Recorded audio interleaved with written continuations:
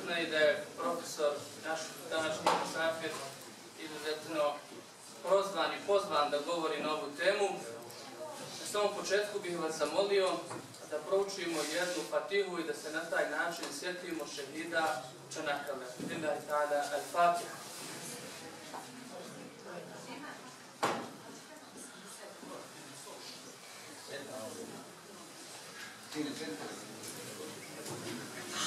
Još jedan put se zahvaljujem na prisustvu i odazivu. I izvinjavam se što nećemo nikoga poimenično selamiti iz razloga što odavde nismo u prilici da imamo lijepu preglednost, imamo jako puno zvaničnika, visokih funkcionera, e, predstavnika javnog političkog kulturnog života, predstavnika islamske zajednice, dobrodošli Božgeldun na našu i vašu tribinu i svečanost.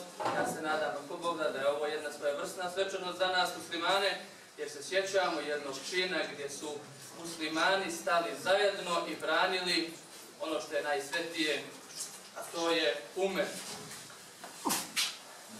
Eto, kažem još jedan put se izvinjavamo iz razloga što je i, i vidimo jako tjesno jer pristiže što sve veći i veći broj zainteresiranih da prisustvuju.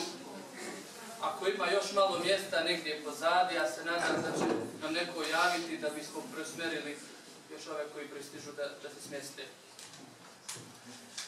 A, vaš, vaše prisutstvo govori danas ovdje da mi ne zaboravljamo historiju i da smo jako svjesni onoga što je bilo i da ako Bog da na osnovu činjenica i podataka i onoga što nam govori historija, mi ćemo graditi našu budućnost i nadati se sve dotle dok se sjećamo ovakvih događaja da će, inša Allah, naša budućnost biti bolja i da, da više nećemo biti u prilici da prolazimo, preživljavamo sve ono što smo tada, eto, kao umet preživljavali.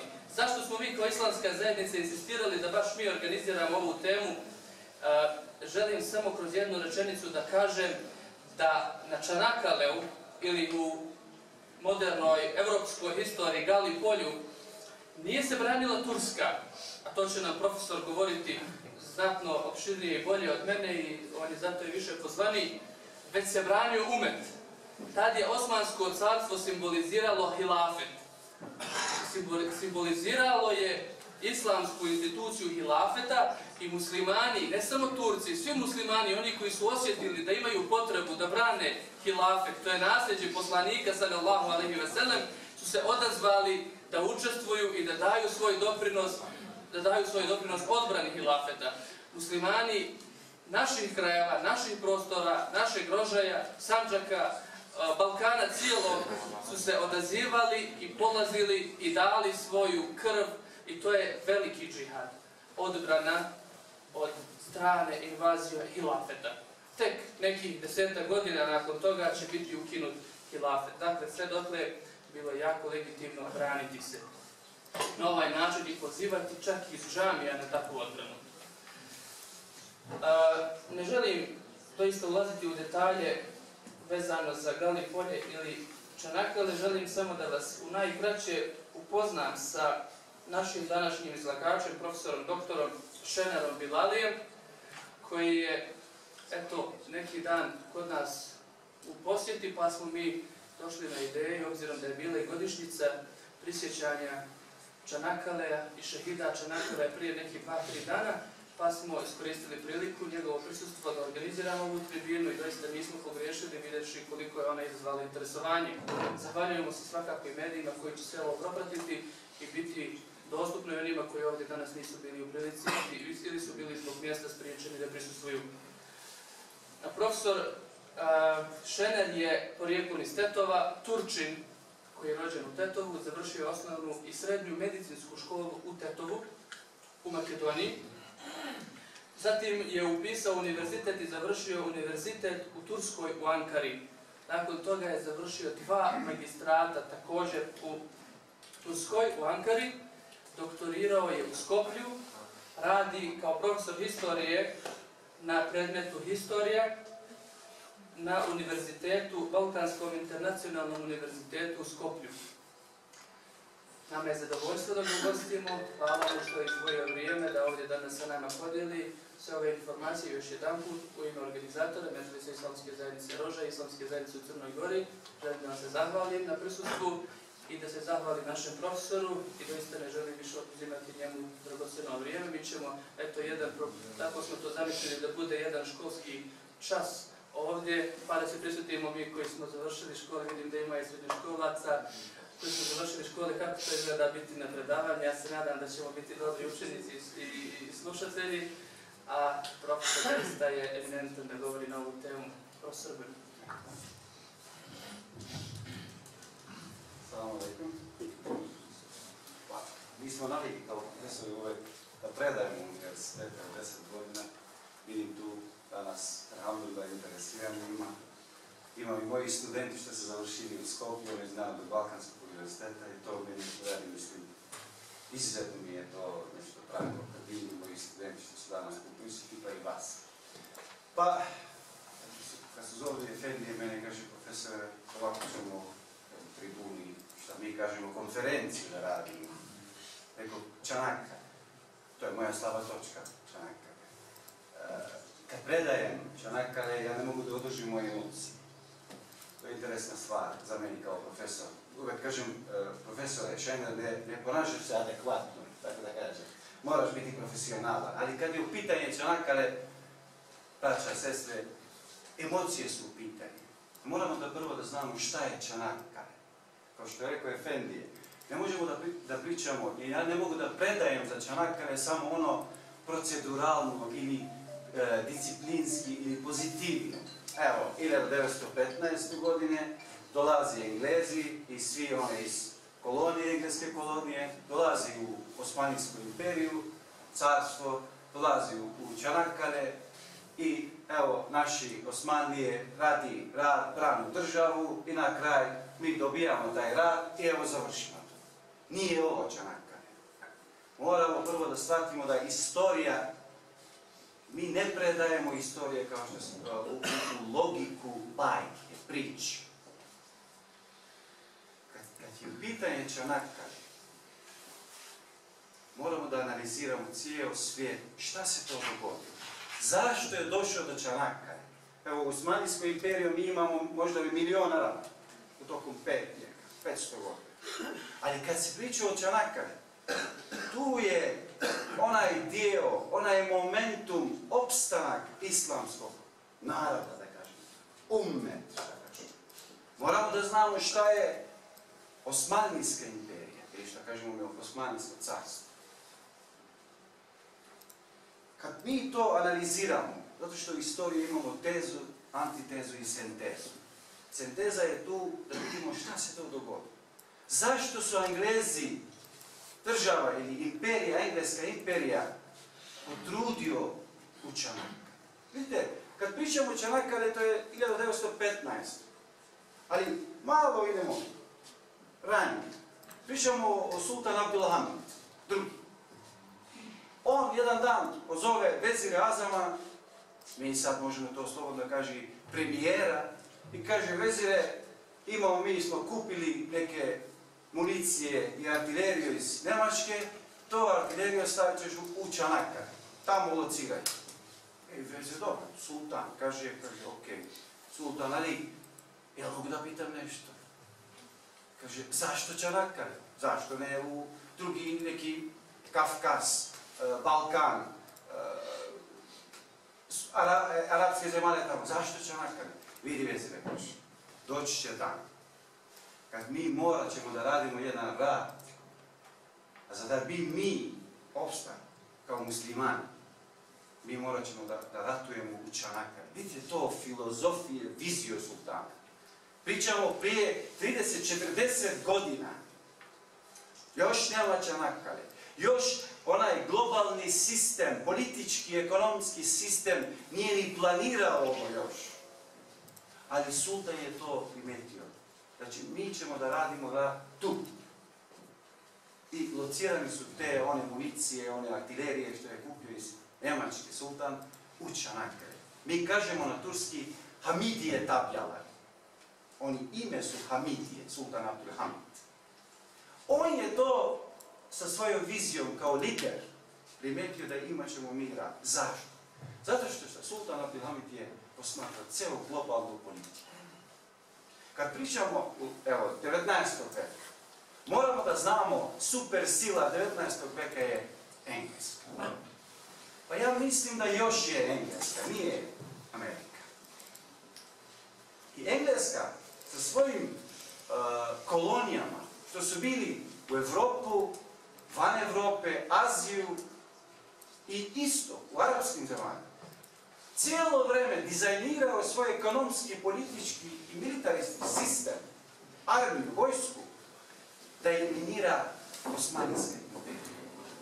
Ali Engleska je znala da nije lako eliminirati imperiju što bar minimum ima iljada, tri iljada godina tradicije. Pričam oni, Osmaniji, Selčuki i drugi. Počeo polako. Onda su ocijenili te prvo, kako ćemo mi to da radimo? E, a, finalna faza je čana. Prvo moramo da nađemo soluciju i moramo da nađemo neki metodologiju mi da eliminiramo hilafet. Zašto je hilafet? Zašto mi danas nemamo halife? Zato što Sultan Abdulhamid, poslije njega, Vahdeti i drugi, oni su bili simbol muslimana unutra imperije i van imperije. U stvari, Osmanijska imperija nije imao granice. Mi samo dajemo granice. Emocije, iman, islam nema granice. Osmanijska imperija de facto nije imao granice. Muslimani što nisu bili dio Osmanijske imperije, evo, da, uzmemo primjer, Indiju. Svaki džuma, hutbe, oni su uradili ime sultana. Još radi.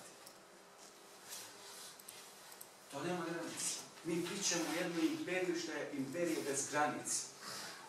Engleska to je znao. Engleska nije mogla da proceni gdje su korene, gdje su granice Osmanijske imperije. Odakle mi da napadajemo imperiju, pa da, da oni opstanu, da, da ne opstanu, da, da, da kolapsiraju. E to nije mogao procijeniti kao što ne može danas procijeniti Amerika.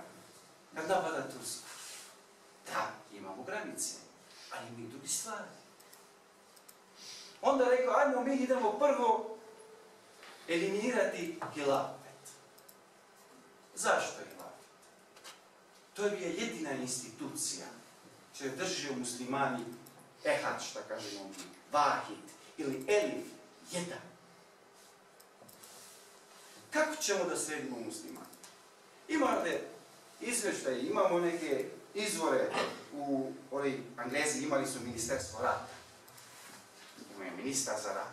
Cijelo vrijeme čovjek planirao, dizajnirao, kako ja mogu da radim neki zulum, neki šer, da kolapsira ova imperija.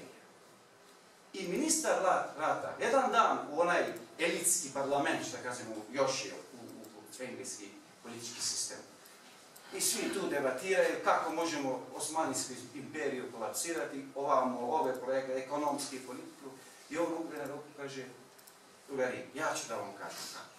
Uzima jednu knjigu, ovako izvijenje, kaže, kad mi eliminiramo ovu knjigu i onaj simbol, ali hilafe, tad mi ćemo da budemo uspješni. Znate što je bio to? Koji? Kur'an. Ovo se pričalo u engleski parlament. Zato ja pričam malo opširno šta je, zašto mi došli smo do, do, Čanakta. I oni su prihvatili to. Na kraju kraja što ministar to kaže. Da mi moramo da nađemo, da dizajniramo nove elite, intelektualci, političari, ekonomisti, šta moraju da misle kao nas. Kako mi mislimo. I da montiramo te unutra imperije. Da oni misle kao šta mi mislimo. Da oni počnu da misle da kamata može da se unese u ekonomski sistem Osmanijske imperije. Da oni misle, i to javno kaže da mi nemamo više potrebe za halifu. Šta će nam halifa? Evo imamo nacionalne države više. Imamo naši nacionalni identitet. Šta će nam halifa? Oni su toliko trudili, investirali od ti intelektualci, da oni intelektualci u univerzitetima, školama, e, javnost, Evropu, oni su investirali, oni su rekli, zašto je Turak halife? Zašto nije Arab? Poslanik je bio Arab. Zašto Turci drže hilafe? I Arapi može da drže hilafe. I to su dizajnirali. I to su cijelo vreme pričali narodu, studenti. Zato to prva faza Čanakare, to je kontinuitet za Čanakare. Kako što sam rekao prije? Nije Čanakare 1915 godina. To je samo finalni deo Čanakare. Čanakare je jedan proces. Onda ide drugi faza, druga faza. Ajmo sad da dizajniramo nacionalni koncept države, ekonomije i. Kako bi mogli mi, Balkance, Arape, Persijane i drugi, da uverimo, da kažemo da nema potrebe za Osmanijsku imperiju. Dajte vi formirajte svoju državu, svoju naciju, svoju elitu. Šta će vama Osman? Onda šta rade? U cijelom, i cijelim knjigama u Evropu, u historijskim knjigama, oni hoću da piše da Osmanijska imperija nije više progresivna imperija. Zaostalo je progres Osmanijske imperije. I šta je najrizičnije, oni su insistirali da, da uče nove generacije da nikad nije imao kulturu, civilizaciju, nauku u imperije. Ovo je druga faza. Onda treća. Onda idemo direktno u hilafet. Zato što oni sa svojim tajnim službama, intelektu, elitama, intelektualcima, vidjeli su da mi, ako radimo rad u Čanakari, i to se dogodilo, pričaš nam to, ne znamo odakle će da dođe one vojske šta mi ne vidimo. Znaju da ima Osmanijska imperija tri velike vojske. Jedan je bio u Edrene, drugi je bio u Kafkas i jedan je bio u Istanbulu. Ali Englesi su vrlo pametni i procenili. Ali ima još neke vojske šta mi, mi ne možemo prosjeniti odakle mogu oni da bi doći. I to se dogodilo u 1915. I počeli su da rade, da eliminiraju jelate. Intelektualci, političari, kapitalisti ili velike korporate, firme, kompanije. To idemo polako šta je bio taj problem? Taj problem? Zato oni su znali da u slučaju mi deklariramo rat, sultan, halif, zato što interesna stvar je šta? Sultan Abdulhamid nije preferirao da, da koristi onu titulu sultan, nego halife. Vidite, imamo, pričamo u imperiju šta? Posmatra sultan da u englesku teritoriju, UK, šta kažemo, Velika Britanija, kralstvo, ima jedan jedni šta nisu zadovoljni sa Britancima. Ira, mi znamo to Ira, postoje Ira 900 godina. Ali Abdulhamid je procenio pre 30-40 godina to. Oni su bili Irci i oni nisu htjeli da budu sa Ang Anglizima. Šta je uradio Abdulhamid? Financirao njih preko tajne službe, dao oružje njima da bore protiv Engleska. Isto je uradio Kinu, Indiju. Ima jedan slučaj. e, relativno, ili da kažem, i ovo je slično sa Čanaktara. Moramo da, da perceptiramo ovu imperiju, šta je bio imperija. Uh, Anglezi napadaju jednu selu u, u Indiju, tamo. I masakriraju muslimani. Kad ovo dolazi do sultana Abdulhamida, sultan Abdulhamid aktivizira svoje tajne agente unutra engleskog pala. Unutra, granice ga spava. I ovako kaže, ako mi muslimani ne spavamo, e valjda neće ni kraljica da spava noćas. I oni su radili unutra palatu bunt. Niko nije znao zašto su to uradili. Rekao, e, i kraljica neće da spava. Vidite to visio. Oni su ratovali protiv Hilata.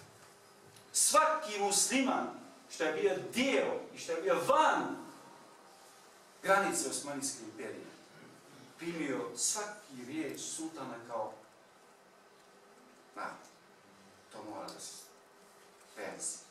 Zato su oni prvi cijel, cijel Američanima je bio anihilat, da se eliminira. Onda idemo četvrta. I evropskih zemalja, posle 1900 godine, oni insistiraju da dizajniraju politički sistem u Evropu balansiranje sile, kažu oni. Balancing the power, kažu na. Šta su radili? Oni kažu, hajmo mi da ostavimo ono što mi ratujemo, Anglezi, Francuzi, ne, Nemci u Evropu. Hajmo mi balansirati politički i ekonomski sistem, da delimo cijel svijet, da okružimo Osmanijsku imperiju i na kraj to da se eliminira. Vidite, nacionalne države za evropejcima nije bio to nešto dramatično. To je normalno za njima. Zato što Evropa ni, ni, nisu imali, nisu vidjeli oni imperije. Oni su e, države u logiku gradova. Zamislite, London je bio država. Yorkshire, drugi grad Engleske je bio država. Paris je bio država. A Osmanijska imperija nije tu, tu logiku dizajnira. Pričamo do 22 miliona metre Velika imperija. Oni su balansirali sistem u Evropi. Balansirali su svoju ekonomiju. Dizajnirali su svoje kolonije, mi kažemo. Direktnu, indirektnu države što su pouzani Englesku, Francusku i Njemačku. Dobro, moramo malo Njemačku da analiziramo zato što u to vreme, 1915. Osmanijska imperija je bio e, u, u sojuz, da kažemo, i imao neke e, kooperacije sa Njemačkom. Zato što jedini imperator, Wilhelm, je bio protiv ovo balansiranje sile u Evropu. Zašto? Zato što više u 19. vek državu nije vodio parlament, nije vodio kralj ili kraljica, nije vodio demokracija, ustav, zakoni. 19. vek je vek gdje više svijet redizajnira se. Velike korporacije, kapital vodi države. Oni su dizajnirani to balansiranje silu kao svi države za njima je kao neki vid korporacije, firme, ekonomske jedinice.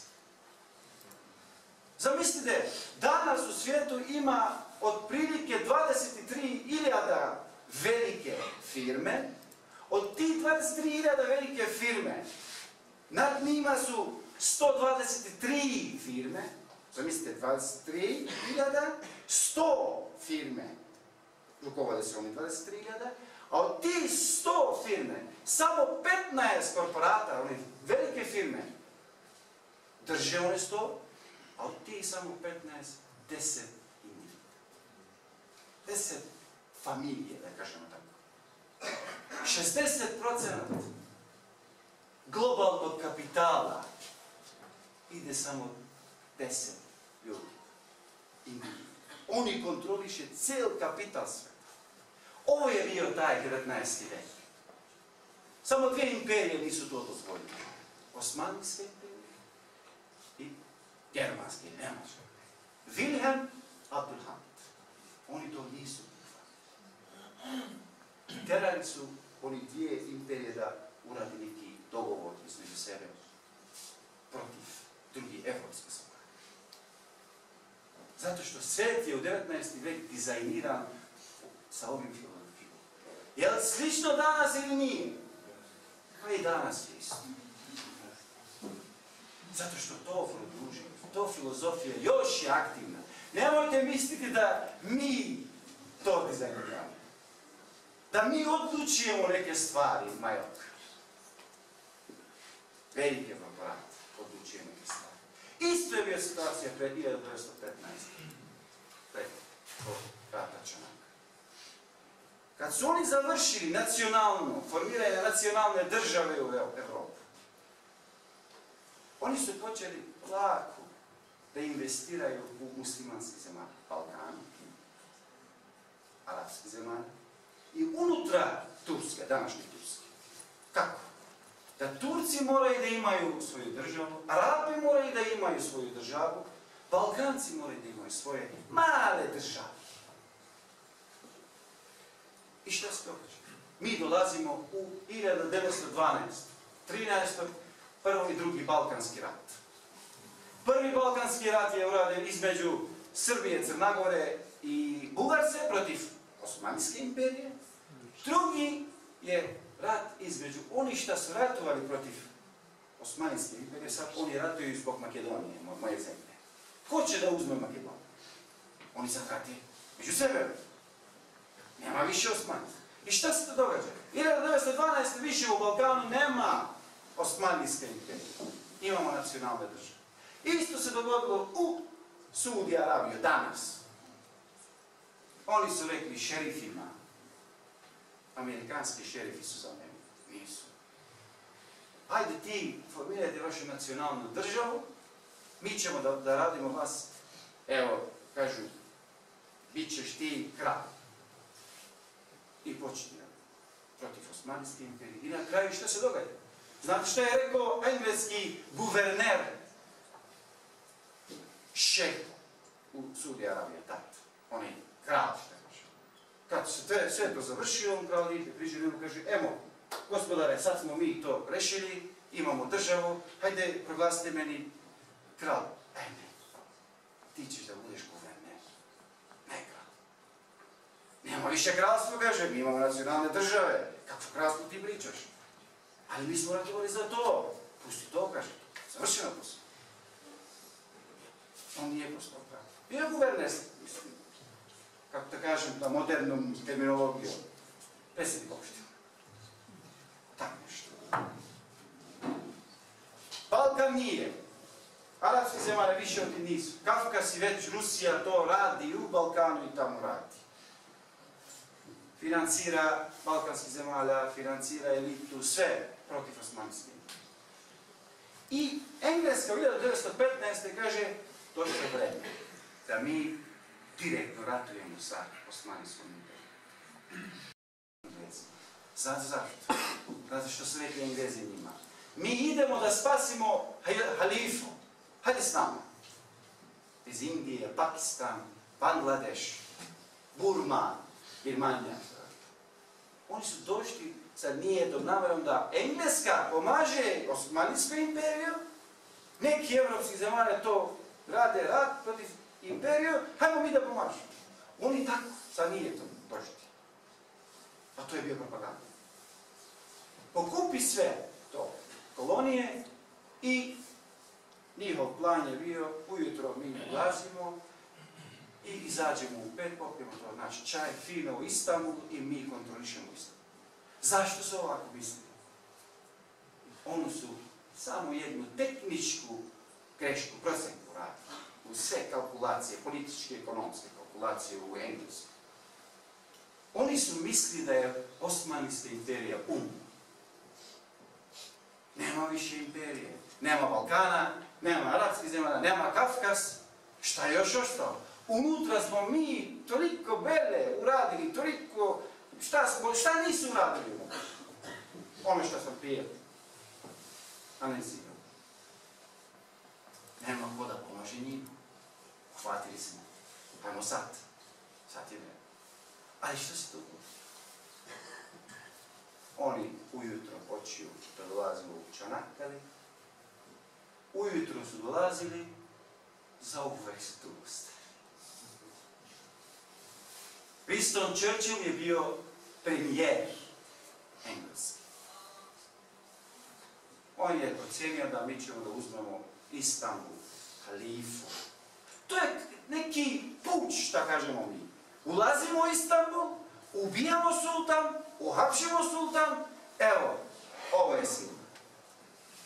Ali u Koran kaže, jel Efendije, Allah pošalje negativni vojnici što vi ne vidite. A mi imamo toliko primjera u Čanakkale, kad čitate.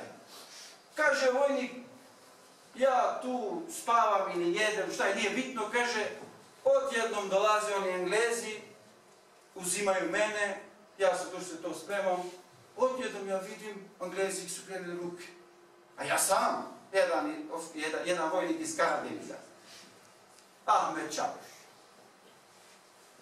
I on uzima to, 10-15 vojnika, vodi tamo u kasarnu i to to, uhvate, to su robovi. I kaže, oficir kaže, šta, šta si uradio ovima? Kako si to mogu? Ka ja nisam ništa uradio, samo sam vidio da ima neki ljudi okolo njima sa zelenim, šta ti ja znam, neki vojnici šta ja ne poznajem uniforme. E gdje su? E ja to ne znam. Imate drugi primjer. Tank. Ulazi vojnik. Turski vojnik, muslimanski vojnik tank. Ga možete vidjeti to u Čanakkali. To je tank. Oprt, ovako. I odjednom nešto se dogodi. Je bio. I pita, kako si došli tu? Kaže, mladi, ne znam. Još je tu. Ranjen vojnik. Vidi se da to umre, šehid. Odjednom, kako što bio ovako, odjednom, ustaje i oni svi čudu šta radi ovaj. Kaže, ovako, kaže, ja Resulullah, nije trebalo vi da dođete tu. Pusti moj. On priča sa poslanikom. Ovo sad su pitanje odlici. Zato mi kažemo, kad muslima umre šehid, nemojte kažete da je umre. To vi ne vidite. I šta se dogodilo? Ono što nisu Anglezi precenili, bio je ovo. Odjednom, Osmanlijska imperija je pokupio toliko vojnika, da nisu ni planirali ni sami Osmanji. Vidite, 1912, 1915. Pričamo o tri godine. U Balkanu nema Osmanlijske imperije. Tri godine. Sanđak, Makedonija, Albanija, Bosna, Grcija, Bugarija. Idu naši. Pokupjaju se u Crnogoru, tamo, vamo, da idu u Čanakkale. Ali to je interesna filozofija, interesna logika. Nema države tri godine u Balkanu više. Prvi Balkanski rat, kolaps Osmanijske imperije u Balkanu. Šta se dogodilo? Zašto moja deda otišao tamo? I moja deda je umro u Čanakkali. Ja uvek to sam pitao. Šta je to on radio tamo? Dolazi jedan dan kući, trebi je 1915. Kaže mu, Hanuma pohalali, ja idem. Ideš? Sultan nas, halife nas je pozvao, mi idemo da ranimo vata. Znate što je vata? Domovina. Da je domovina. Zato što pet veka, 500 godina, Balkan je bio vata. Nije to lako. Hajde, nema više Osmanijske imperije, hajde mi to pustimo, oni stvarno što čovjek vlade, nismo mi više u, u tu futbalsku ekipu, ne igramo više. E, nema tako nešto. Zato je što je vatan, huppul vatan minel iman, je li tako, Efendi? Kako se to prevede na bosanske, kako da kažem? Ljubav prema domovini je od vjere. Eto ti je iman. Moje dete ide i nije se vratio. Ne znam gdje je, umro. Ili ja od Balkana iću u Čamanka. Ko je pozvao? Tajna služba? Jo. Jel to je bio dovoljno samo halife izađe u džuma utpe, kaže hajmo muslimani, ja sam proglašio džihad u ekber, to je proglašio strane vlade. Jel je to terao njih, oni da ide tamo? Šta mislite? Jel to dovoljno? Pa, evo sad ja da idem u Afriku. Ja bi otišao, ali ne zbog politike. Vata. Iman. Mi moramo spasti halifu. To je bio. Pamtim 9, 15. jula, ono što se dogodilo u Tursku.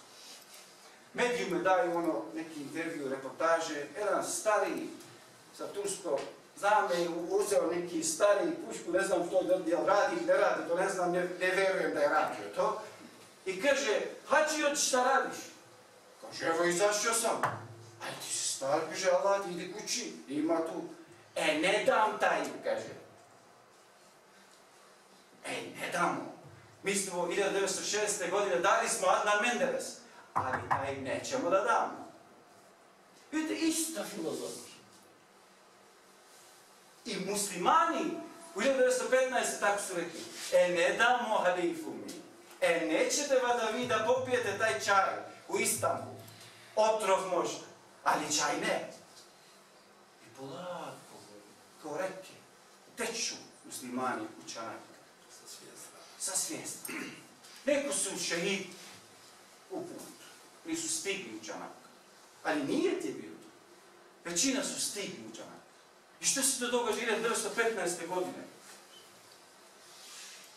Englezi, trubi, ratu, troše munici, svašta. Znate da u 1915. godine Englezi su uradili sve nemoralne stvari što voj, vojna ne dozvoljava.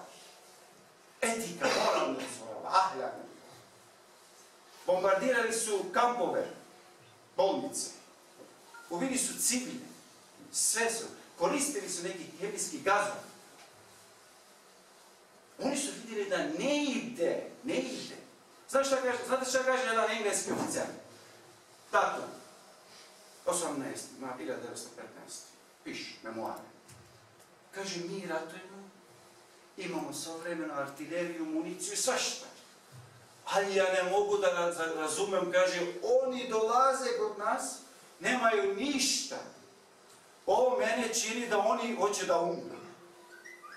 Nema municija.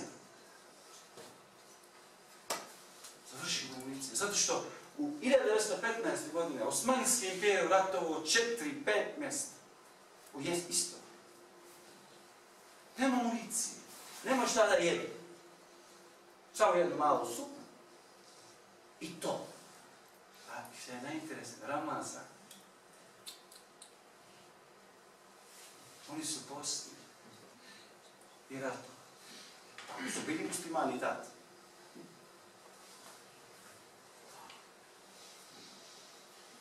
Ja, kaže, to primetim, oni dolaze osmanijske, oni se ovako kod nas, a bi ja vidim, kaže, da posmatram da oni nemaju municije.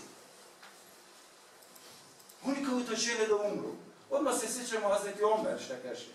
Ja dolazim sa vojskom što hoće da umre. Šehidne da živi. I svi oni što su otišli s Balkana, iz druge zemlje, no, Arabci se Nije ti bio tu. Idem, ja se ne vraćam više. I možda bi 50% nisu se vratili. E to kaže Englesi. Vidimo da oni jure kod nas, a nemaju municije. Oni hoće da umre. A mi imamo najsovremenu municiju što nam dao država nam. Gdje ide? Probaju, to ne ide, probaju, ovo ne ide, probaju, sve probaju, ne ide. Oni su zaglavili u ulaza na farta, tamo u ulaz čanaka. Prolazi danovi, čaj se oladio, Istanbul nema čaja. Ne može. Samo dolaze, ne, nove, sile, samo dolaze. Jedna generacija je u šehidu Tursku, da znate. Srednje škole su bili zatvorene. Pobunili su oni šta uče u srednjoj školi. Znate šta su? Šta tražimo mi tu? Mi moramo ići da umremo tamo. To je 15 godina. Ima i pjesme. E, on bešli, on bešli. Kaže tamo Turska. Jedna generacija je bio ovako. Otišli raditi. Srednje škole. Ne pričamo univerzitet, nema kakvi parlament, to sve zatvoreno, idemo raditi. Nema političke stranke, nema ništa u pitanje vatra. I šta se događa? Ne ide. I 18. marta 1915. godine Anglezi deklariraju da mi se povlačimo. Ne možemo. Nema često. Nema. Ne idemo čaj. I zato Čanakar, od početka sam rekao, nije jedni jedos, jednostavni rad. To je opstanak za muslimane, za Osmani. Umio je Ahmed, Mehmed, Hasan, Husein, Ali, svi su tamo šehidi. Ali osmanijska vojska nije koristio nemoralne stvari.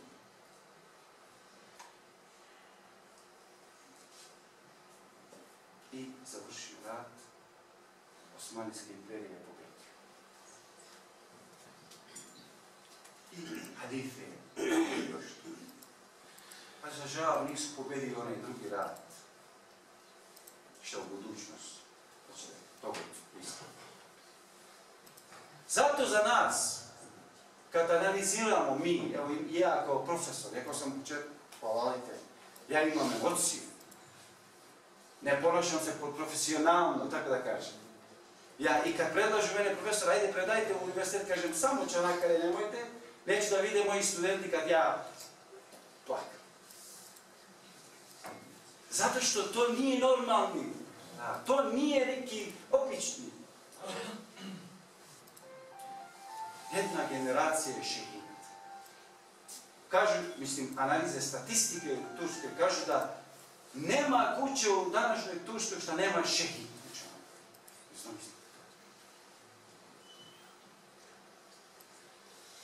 Balkanci, Arapi, muslimani, svi su bili u Čanak. To je bio kao kale, Čanak kale. E, Turci kažu Čanak kale geçilmez. mes. Ne možete ulaziti. Tu. Tvrđe. Kraj. One vaše planove, dizajnirane političkog, ekonomskog sistema, to važi za vas. Zato što Anglezi su ratovali za čaj, Osmanli su ratovali za iman, za vatru. Još jednu stvar. Jel znate da ono što se dogodilo u Čanakkami, 1915, ne možete naći u nijednu knjigu u današnjoj engleskoj istoriji. To je zabranjeno. Nema ništo Ništa ne možete naći u knjigama istorije. Ja sam, nisam normalno, skeptičan, profesor, moram pozitivno da mislim. Sve sam analizirao. Nema računaka. Anglezi ne spominju to. Ja sam pitao moj kolega Engles, vidim, zašto to radite? Kaže, profesore, mi ne toleriramo to. Poraz nema. Nisu u istoriju, knjigu, oni racionalisti, pozitivisti, što cijelo vrijeme nama kažu ajmo biti, biti malo intelektualci, sve to analizirajte, pustite sad šta tu, neki vojnici došli. To nije racionalno, kaže. Tako kaže kad analiziraju ovaj čovjek.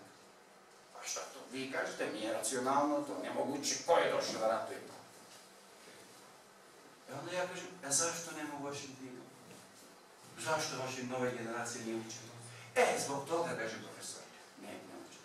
Nećemo mi naše nove generacije da, da vide poraz. I meni. Zato vrlo moramo biti oprezni kad čitamo istoriju. Ja nisam protiv kritike, pa i mora da ima doza šta se kritikuje.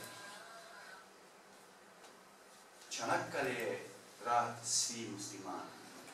Neki su trudili neko vreme da kažu da je Čanakkale rat Turak. Nije. Nije. Samo je Dedrin bio tamo.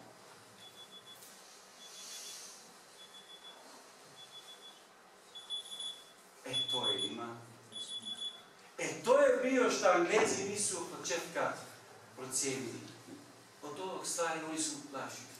Zato su neki ne znamo odakle će nam doći. I danas imamo mi Čanakkale. Afrin. Mislim da svi smo to čitali, vidjeli za Afrin. Isto je. Evo deset godina Republika Turska kaže, Recep Tayyip Erdogan kaže, ljudi, hajmo da to diktatore tamo da eliminiramo. A nema demokracija, parlamenti, tamo, vamo, ne možemo mi, ne mešamo unutrašnji poslova. Pa cijela Amerika je unutra, kaže, ne mešamo se mi unutrašnji poslova. Dobro. Kaže, ovo što radite, ISIS, YPG, PKK, ovo nisu muslimani. Unutra ISIS-a imate 98% ležionera što nisu muslimani. Plaćeni vojnici, evropski. Hajmo bar ovo da eliminiramo. E pa vidite, mi moramo internacionalni sporazuma, dogovore, zakone, pravila, ne možemo i tu. Hajde Evropa! Pa mi, znate, mi smo unija, nismo unija krize. I kad nema krize, mi smo tu. Samo da jedemo nešto, ok. A kad ima krize, ne smo za, za to, ja, nećemo doći. Onda je morao Turska sam da glasa. Можда вие ви питате, професоре, зашто ние Америка за застави? Е, зна Америка, че на кај. Зато што Америка зна да има још некој неки одакле да дојде, е тоа не знамо. И доќе неки војници, не чемо ми још едно да преживимо од Джанака, не каже Америка. И сад Турција и Африка. Затоа што за данас, за душу, не е Turske je tamo za, nije za, za, za, za, za sebe, za. Zato mi kažemo današnji Afri. Čanakkale. Nemojte da mislite da u tursku vojsku samo Turci. Možda bi oni uniformi su turski. A ja znam da ima vojnike šta, ako bi ja tu progovorio tu, pa nisu svi Turci. Arapi, Bošnjaki, Albanci. Oni su samo uniforme turski. Zato moramo dobro čitati istoriju, analizirati istoriju. Nekad su neke stvari neracionalni, ali mora metafiziku da prihvatime kao deo istorije i da analiziramo istoriju. Čanakkale je bio vat. Dolaze mlađe generacije Englezi. Ulazi u rovovima, ja se tako se kaže. Rovovima. Spavaju cijelu noć tamo. To sam ja vidio. I pitao sam zašto radi. Da oni osjete šta su oni. Pa vi ste, kažem, vi ste napali. Vi ste to napravili. Moramo, kažem. Oni dan dana svake godine uzimaju sve one srednje škole. U Čarakeli oni spavaju cijelu noć tu u rovovima. To je interesantno. I mi trebamo tako da radimo. To je Čarakeli.